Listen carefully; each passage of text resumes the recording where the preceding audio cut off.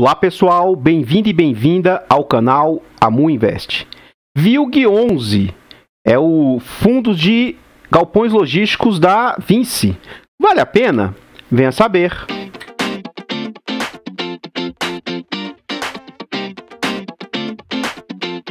Então, pessoal, antes da gente saber mais a respeito desse fundo, eu gostaria de pedir humildemente, por favor, deixa o like aqui no vídeo, comenta aqui embaixo, você conhece esse fundo? Você tem um fundo? Você gosta de fundos do setor logístico?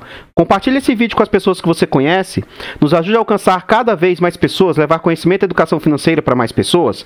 Se inscreva no canal e ative o sino para ser notificado de todos os vídeos. Contamos atualmente com 512 inscritos, muito obrigado a cada um de vocês.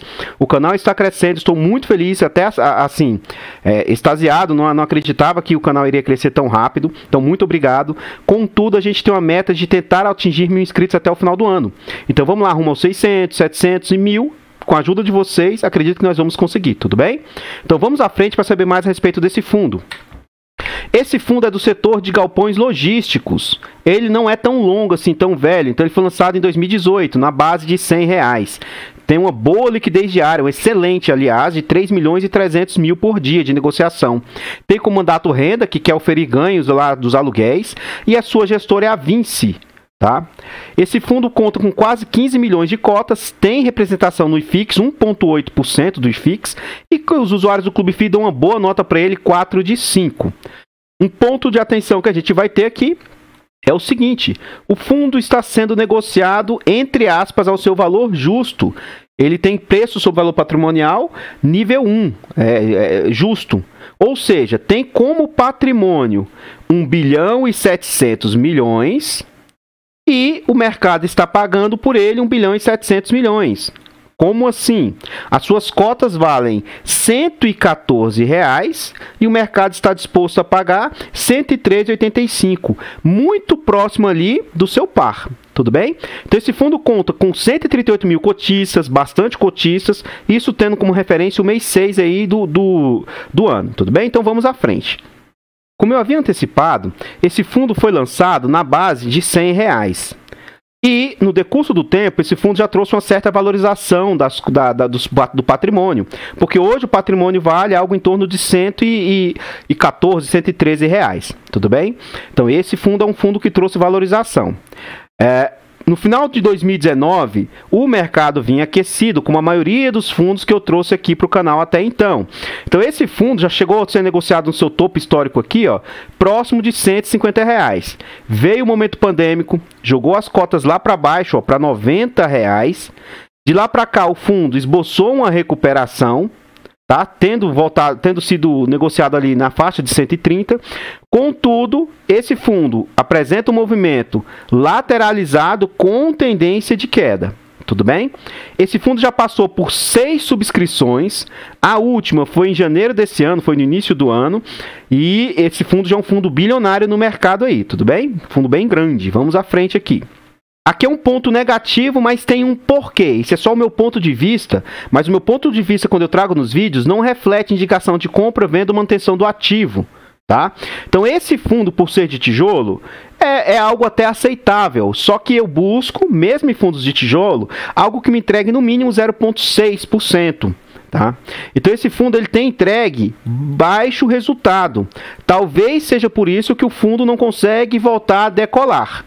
Tudo bem? Então, assim, ó, ele entrega, aqui, último mês entregou 61 centavos, que equivale a 0,54, e o acumulado ao ano de 5,84. Então, para mim, esse resultado é baixo. Agora, não quer dizer que isso seja ruim. O ponto que vocês têm que ter de atenção é o seguinte: ora, no mercado existe a lei do risco-retorno.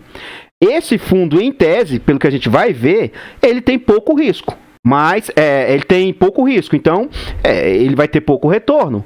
Quanto maior o risco, maior o retorno. Então, olhando desse ponto de vista, dessa ótica, o fundo é seguro e aí, por, por, por, razão disso, ele vai entregar menos mesmo. Tudo bem? A gente vai ver alguns movimentos e algumas situações que eu vou tentar mostrar, pelo meu ponto de vista, por que eu considero esse fundo sendo seguro. Então, vamos à frente.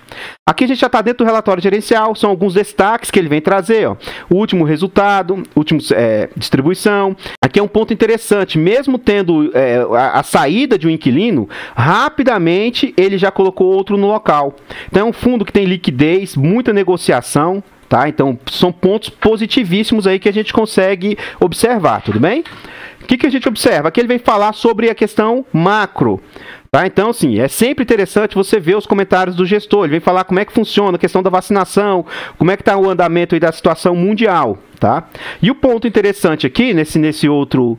Tudo isso ainda faz parte do, do comentário dele. Ó, em paralelo, a gestão do fundo, em parceria com tal, tal, tal, conduziu negociações para uma pronta substituição do inquilino. Saiu um inquilino e eles colocaram outro no lugar. Então, o fundo tem uma taxa de ocupação de quase 100%. É algo positivíssimo, ou seja, esse é um ponto, então, que a gente vê a qualidade tanto da gestora quanto dos imóveis, que se ocupou e já conseguiu reocupar, realocar com outra pessoa, com outro inquilino rapidamente. Ponto positivo. Aqui a gente observa o seguinte: pode ser que no futuro os rendimentos do fundo aumentem. A tendência é que seja isso. Por quê? Ele tem um fundo imóvel que está em. É, em construção, em desenvolvimento. E o fundo possui uh, um, um, quase que a totalidade desse imóvel. Então ele tem 80% desse imóvel que está em construção. Então quando esse imóvel, a, a, a, previsão de entrega ó, é no segundo trimestre do ano que vem. Então até o meio do ano que vem a tendência é entregar. Então de lá para cá, a tendência é que o fundo passe a receitar mais. Então isso é um ponto positivo, tudo bem? Aqui ele vem falar a, as origens desse recurso, por que, que ele entregou esse, esse quantitativo é, de 61 centavos, é, sendo que é, performou 70. O fundo encerrou o mês com distribuição de rendimentos e tem uma, é uma reserva de 2 centavos. Então, aqui ele vem falar esses detalhamentos aí. Tudo bem? De onde que veio o recurso? Quase que a sua totalidade vem dos imóveis que tem. Aí tem uma pequena quantia, quantia que vem de caixa, então 10, é, é, é 10 milhões 555 mil vieram dos imóveis, 158 mil, é, é, é, mil de caixa. Então, receita financeira, despesas. E aí o fundo teve como resultado final 9 milhões 209 mil. Tudo bem? 204 mil vamos à frente aqui. E esse fundo tem conseguido trazer uma reserva aí de, de, de valor, apesar de baixo, mas tem conseguido é, gerar reserva. Vamos à frente. Aqui a gente observa o seguinte: qual o total do valor que o fundo tem. Esse fundo ele tem e não tem uma alavancagem, tá? Por quê? Ele tem dívidas, obrigações financeiras e obrigações a pagar, ó. Então ele tem aqui, ó, 65 milhões mais 130 milhões. Isso aqui são dívidas. Contudo, ele tem 179 milhões aqui é, é, é, em reserva de caixa. Então isso aqui quase que paga as suas obrigações. Então é quase inexistente as dívidas do fundo aí. Então, bem interessante que apesar disso, ele tem reserva aí. Vamos à frente. Aqui a gente observa a receita média dos aluguéis, tanto do Vilg quanto do mercado, então seus aluguéis estão mais ou menos ao preço do mercado.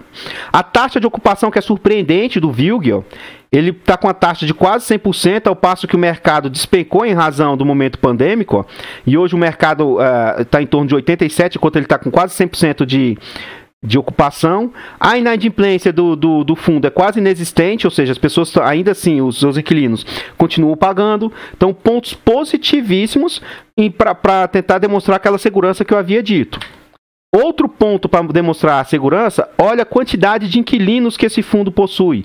52 inquilinos. A gente vai ver mais à frente, ó, 15 imóveis que esse fundo possui. Então, é muito interessante que isso, isso dá tanto eh, diversificação, segurança, não fica dependente de um único. É, de um único locatário, né? O único ponto de atenção é esse, ó. Esse toque stock representa 15% do, do portfólio do, do, do fundo, né? Então tem que ter atenção com ele. Porque se ele chegar a desocupar e não conseguir é, realocar rapidamente, isso pode gerar um impacto para o fundo, tá? Tudo que se concentra acima de 10%, é um ponto de atenção que tem que se ter com, com, com uh, o ativo que você estiver investindo, tudo bem? Vamos à frente. Aqui a gente observa mais um ponto de segurança do fundo. Ele tem diversificação por setores, por segmento, essa vantagem aqui é o seguinte: se um setor da nossa economia começar a ir mal, ele tem outros setores que, que vão contrabalancear. Então, ponto positivo. Diversificação é, geográfica. Ó.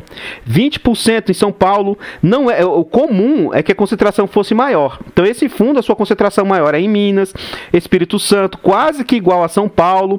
Então, ele não está 100% em São Paulo. Tem no Rio, Rio Grande do Sul, Rio de Janeiro, Rio Grande do Sul, Pernambuco. tá? Interessante. Parte dos seus contratos é típico, outra parte atípica. Então ele tem uma boa concentração em contratos típicos. Tá? Tem os pontos fortes e os pontos fracos de cada contrato. Eu nem gosto tanto de, de relatar em relação a contrato típico ou atípico, porque não necessariamente o que muitos consideram atípico como sendo bom, na minha opinião, não necessariamente isso vai ser bom. Então depende do contexto, depende de caso a caso. Então isso aí para mim não é tão relevante na análise do fundo. Antes da gente ver os últimos slides a respeito desse fundo, eu gostaria de reforçar novamente. Por favor, deixa o like no vídeo. Comenta aqui embaixo, você tem um VILG? Você se interessou pelo fundo? Você acha que o yield que ele está entregando é atrativo? Ele tem um baixo yield, mas vocês conseguiram perceber que ele tem uma alta segurança?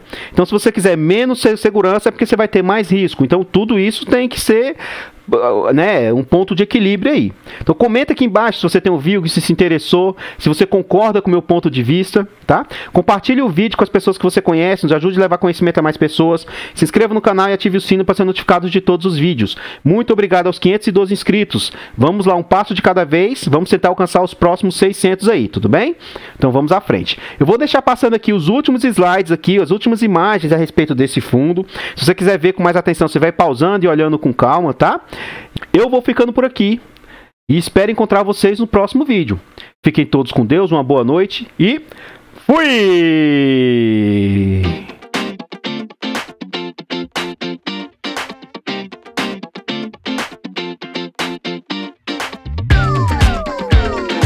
Artlist.io